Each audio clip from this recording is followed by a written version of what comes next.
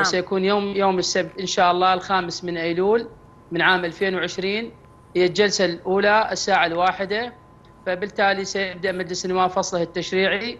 أهم المهام الموكلة لمجلس النواب في هذا الفصل التشريعي بكل تأكيد هو قانون المحكمة الاتحادية سواء في إضافة عضو لهذه المحكمة أو تعديل قانون المحكمة الاتحادية.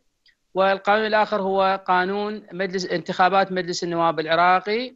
وأنا أعتقد إن يعني هذين القانونين في غاية الأهمية. فضلا عن ذلك هنالك عمل جاد وحقيقي ومهم للتعديلات الدستورية.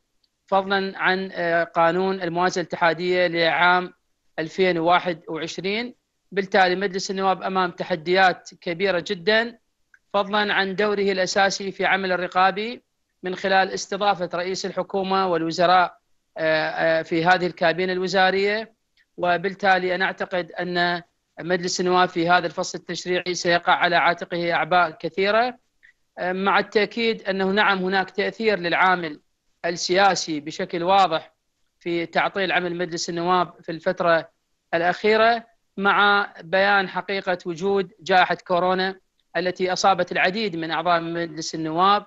والعديد من الموظفين التابعين لإدارة المجلس وبالتالي أعتقد أن هذا التأخير هو جرس إنذار لمجلس النواب وعليه أن يكون جادا وفاعلا طيب سيد رياض وهو قادر نعم. على أن يكون بهذا المستوى